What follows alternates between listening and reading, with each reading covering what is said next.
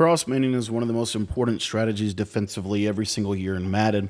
And in this video, we're going to explain what it is, why it is effective, and how to utilize it against the best offenses in the game.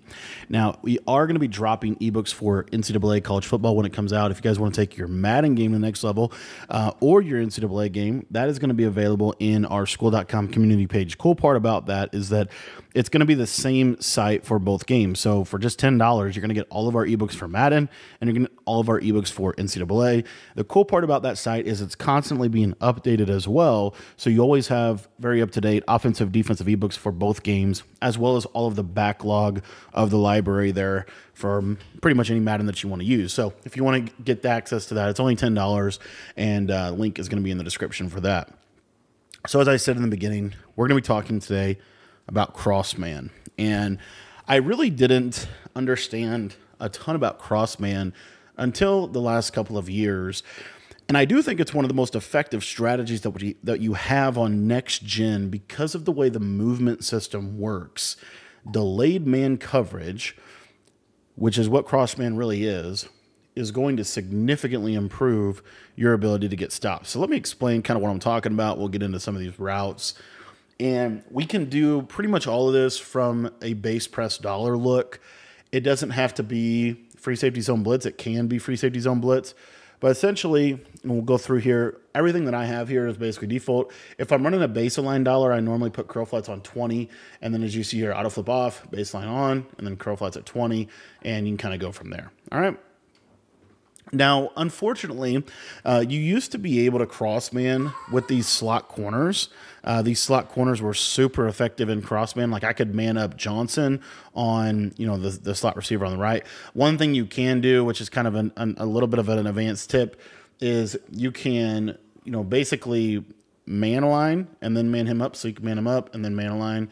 And you see by man aligning, sometimes he'll go over here this is kind of what it would look like uh, in terms of crossman. So the reason this was good, and I'll just put like a cover four on here and try to get these guys as much out of the way as possible, but I just want you to see what this crossman is going to do. So you see how he's crossman on that solo receiver. So let's say, let's say that that solo receiver runs a skinny post.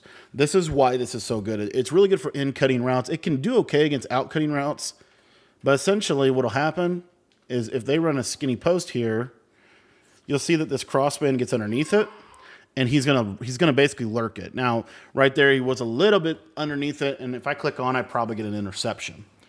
So, how do we utilize the same principle, and what is it really going to help us do defensively?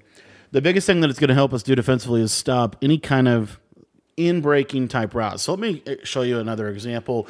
Um, so essentially, what we're doing with Crossman is we're utilizing leverage. We're utilizing inside leverage to defend inside breaking routes. Now, you can also occasionally uh, play pretty good defense against like a corner route if you were to do it like this. So you see here, I'm going to cross man the safety. Now, sometimes by moving the safeties down, it can actually improve the ability to play man coverage, which is a little bit of an advanced tip. But I just want to show you here, like if I run a corner route to the right, you'll see this cross man doesn't really guard it. Okay, sometimes it does, depends on where the crossman comes from, but in general, it's not going to really do a great job if you just think about it principally. Where do you have leverage whenever utilizing a crossman defense? You have leverage to the middle of the field, you have leverage to the inside. So, to utilize this effectively, we need to give ourselves what I call safety help or help to the outside for those outside breaking patterns. So, what I like to do, and this is going to help kind of create a, a bracket that's going to be super effective is let's say we want to stop the verticals crossing route. This also, what I have found, a little bit of a pro tip again, this works best. And this is why, let me actually come out in a defense that will actually showcase this. Crossman works best when it is lower, lower to the line of scrimmage. So when you crossman a safety, and I will explain this, but we're going to come out in double safety go because this is going to show this really good for you. So if I cross man in the safety, and I'm going to first show it with just pressing. It's like let's say I audible, and I'm going to press, and you see I have this safe, this like kind of default safety alignment. Um, you know, so we're going to cross man the safety onto the slot. Now everything else, we're just going to clear it out. I don't want you to worry too much about this fade. Uh, I'll just you know, put this guy in a quarter or whatever. But essentially, what's going to happen is you're going to see here that this cross man adjustment is going to. It's not going to really stop the crosser, it, when, even though it should. Like the idea, the reason we're doing this is so that the cross man stops the crossing route. Um, and it sometimes actually will, but as you see, he crosses his face. I can freeform this, and a lot of times be able to catch the ball, right? So again, this is the idea of like we want to put some safety help to the sidelines to kind of help funnel the thing, everything back into the middle of the field. But the big tip that I want to give you here is if you bring those safeties down, and you can, there's a lot of ways to do that. The best way to do that right now in Madden is to go through and have auto flip off, auto alignment on base, and then what we're going to do is we're going to come out in double safety, and then we're going to audible into the play that we want to run. So, like right here, we audible into DB Fire 2. And then if we don't press, it's going to keep the safeties in the box. So this gives us one, two, three, four players that can cross man on anybody on the field. So the reason this is helpful is now if I do that same adjustment, I'm going to cross man the um, I'm to cross man the safety, and then we'll just drop these guys in zone so they get out of the way.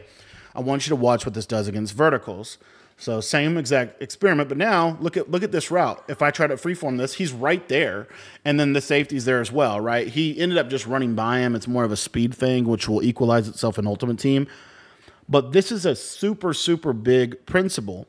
Now, another thing that crossmanning is really good at defending is is kind of baiting routes. So, like, let's say they want to, th- you know, you're playing somebody and they run a lot of verticals. One of the best ways to counter verticals is to, especially the tight end route aspect here, would be to man up the tight end. So we'll just go to cover three cloud because it's a little easier to adjust out of this.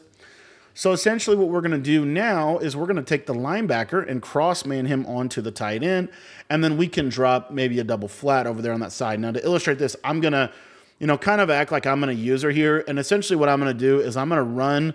Normally, if I was usering here, I would kind of run to the tackle and then I would basically roll back into the middle of the read. And then we'll talk about kind of the route. So essentially, you see here, if they throw that, you see that it kind of baits that throw, and he's delaying that man coverage assignment. But if you think about it from the way the quarterback is going to read this, he's going to look out there to the right side and he says, Oh, okay, the user is going to the crosser. Like at this point right here, this tight end route looks open. But then as you see, that man coverage is going to close that gap. It's going to close that window really quickly. And he is going to take he's going to take advantage of that. Really, or he's going to take he's going to take the ball away typically. So another way that we can accomplish or another reason why you would use crossman is for double post right? Double post one of the best plays. Really any kind of post on the the bunch side. So again let's say here you know we're running this deep corner setup which is very similar to double post. And basically what we're going to do and normally what i like to tell people as well is when you do run crossman is i think shading inside is very helpful right? I really do. So what we can do with this is, you know, we could take this linebacker, crossman him onto circle, and then we're just going to shade him inside. So what that does is he's going to undercut this post route really well. So you see here, this post route super good. See how he kind of undercuts it? He's right underneath it. And then you have kind of that bracket with that middle third defender. So with KOs and everything, this is going to be a little bit better. And again, it's a speed discrepancy typically. Now let's talk about a little, let's, let's uh, spend just a, a quick minute here uh, talking a little bit more about the corner route aspect of things. So, like, let's say they're running street corner flat to the right side, and you want to try to create what I call a bracket on that route. One of the easiest ways to do this is to go to cover three cloud. And then what you're going to do is you're going to take that safety that's now in the box and you're just going to crossman him onto the R1 receiver. Now you can drop the little linebacker bag, whatever you want. Now you what what you have here is this cloud flat on the outside is going to force them to kind of hold the ball for a second, and then it's going to allow this safety to kind of close this gap. And he's running into the third. So this is another way that you can kind of utilize this idea. Again, cross manning is so so versatile because you don't just have to cross man like you, you can cross man more than one player.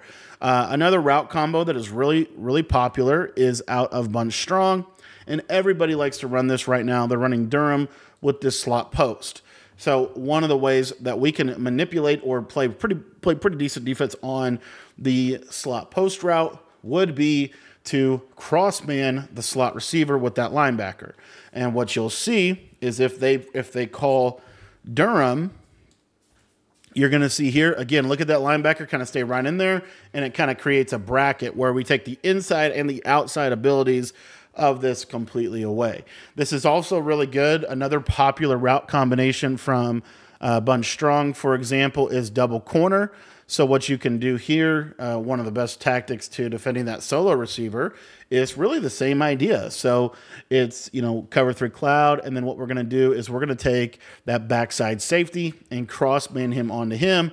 And then this allows us to do a lot of different things in terms of what we want to do on the right. For example, you know, we could, you know, man up circle. We could, you know, roll the coverage around. Um, there's a lot of different things that we could do here. So, you know, the, the biggest thing I want to show is that this does a really good job of taking away the the slot receiver or the the solo set. So you see they might throw it just because they think it's open, and then you see you've got a guy right in that area. So cross manning is something that has been around in Madden for a very, very long time, uh, and there's a lot of different ways to do it. And you can create coverage, uh, uh unlimited amount of coverage shells, you know, from this. One of my favorite things to do is to try to kind of bait a skinny post from the left side. The best way to do that would be to take the linebacker and crossman him onto, see, we have that inside leverage, crossman him onto that solo receiver. Then you can take, you know, in this example here, maybe you want to crossman the tight end with the safety, and then you have a, a coverage shell that looks, you know, basically like this this is actually kind of super good. And what's going to happen is that third is going to help kind of protect that inside leverage. You have you have a lot of help to the outside. You have the clouds, you have the thirds. All those are going to help you with the outside stuff. And then essentially what's going to happen is if they're trying to bomb you, you're going to have a really good chance of this cross man, as you see right there, getting underneath it and with, with the with the kind of inside outside approach be able to really bracket the route another really good thing that you could do is again utilize cross manning with those outside thirds um, and so i i love to tell people like if i'm playing bunch one of the best cross man setups is to take the linebacker, and it's a super underrated one, but take the linebacker, man him up on the slot. That's a really important uh, distinction. Then you want to cross man the outside guy uh, with the safety, and then you can take either your user, if you wanted to use your user, um, you know, you could do something like this right here. This would be a true cross man, but you don't really need to cross man the tight end if you think about the routes that he's going to be on. So we're just going to man up the outside slot corner on the on the guy. So we have the the two slots cross manned. We have the cloud flat, or if you want to throw a quarter out there, you certainly could do that and then you kind of have a bracket with this coverage. This is going to do an unbelievable job at defending the verticals crosser. It's going to do a really good job at defending that circle receiver late. And you see here, I mean, it's just almost impossible to throw that route. So I love this defense, super good cross man style. You and you don't have to cross man everybody. Like if you just want to cross man the problem player, like to me, the problem player in bunch is the slot receiver. So we're just going to cross man him and we also have that cover three coverage over there to kind of help, you know, take that away. And then all we have to do is essentially use with the tight end. But if they were in a corner route or anything, that's going to be super bracketed with this. And they're really not going to be able to throw that against that defense. Thanks for watching the video today, guys. If you want to take your Madden or college football game to the next level, join the Skool community. Links in the description. For just 10 bucks, you'll be able to get access to all of our offensive and defensive ebooks for both college football and for Madden 25.